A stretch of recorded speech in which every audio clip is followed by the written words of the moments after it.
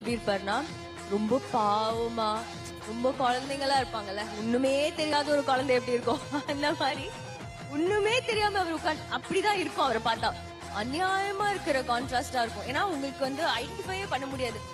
இப்போ இவ்ளோ அமைதியா உட்கார்ந்துட்டு இருக்கிறவரா? அவரா இப்படி ஆடுறாரு?